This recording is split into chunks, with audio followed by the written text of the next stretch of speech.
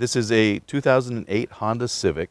It's one of the most popular cars sold in North America.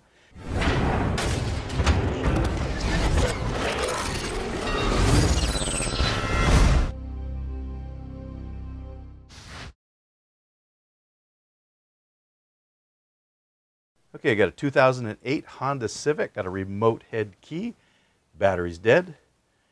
You have to have a small Phillips screwdriver to remove the little screw, don't lose it, and a flathead just to give a little twist and turn. Pull out the battery. Just everything's gentle, gentle, don't have to be brutal. There's the old battery.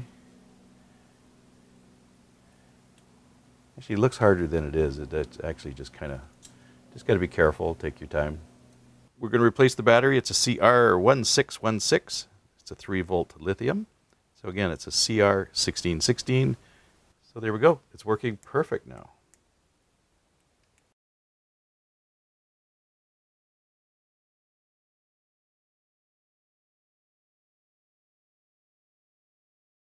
It's supposed to go into recycling. You're not supposed to put it in the garbage. It's supposed to be recycled. So wherever that is, I have no idea. So I'll have to go next time I go by Best Buy. I'll throw it in the recycling. I got a whole bunch of these. I hope you enjoyed watching this video. Subscribe to my channel.